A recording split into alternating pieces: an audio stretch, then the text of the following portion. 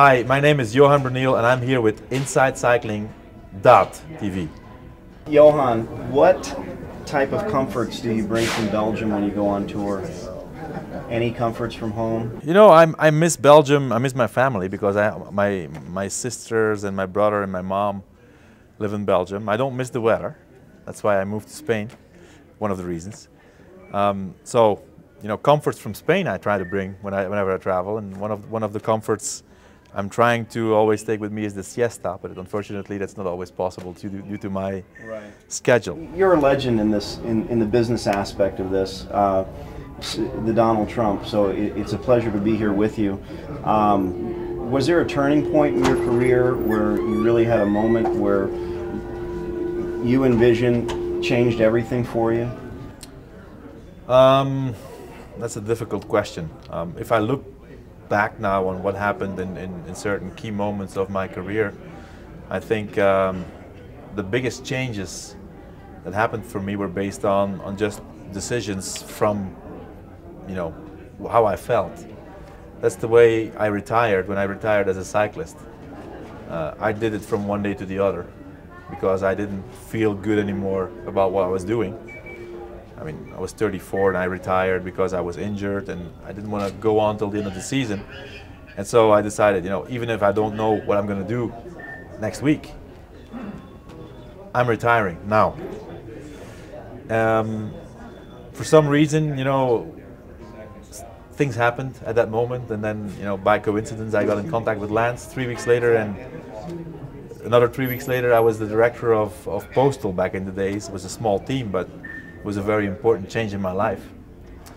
And um, uh, if I look back, there's different moments like that in, in, in my life that, that you know I decided, okay, this is what I want, this is the way I feel about it, this is what I'm doing so gut, more gut instinct, or a little yes. bit of luck, or both. Yeah, no, I think I think I think a lot based on intuition.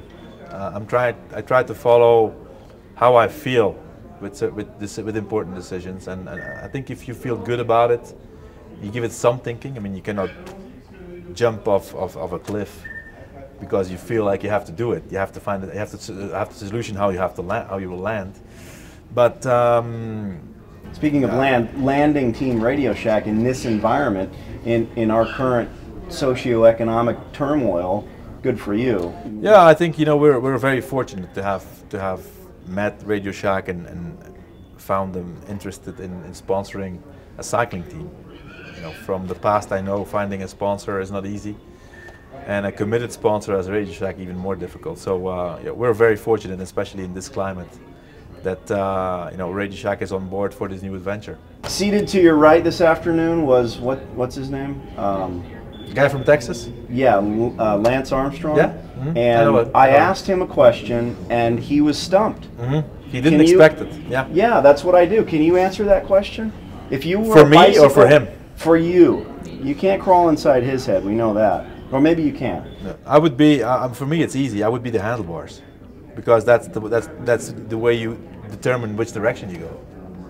You're a badass.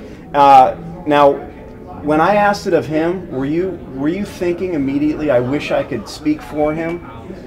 I'm trying not to, and I actually, I, I mean, I, I, didn't even think uh, he's going to say this or this because you know a guy like Lance, although we we worked together now for 11 years, and uh, there's always moments where he keeps surprising me. So I expected for him to come up with a surprise, but he did he did not. Yeah. So well, he's going to come back to you with an answer that right. makes sense. I think it's probably better that he didn't have an answer because now we have this cliffhanger. Yeah. Mm-hmm. But it's funny because a lot of people either are totally stumped by it or they immediately yeah. have an answer for yeah, it. Yeah, I think yeah. In, in my case, uh, definitely the handlebars because I like to be in control. I love it.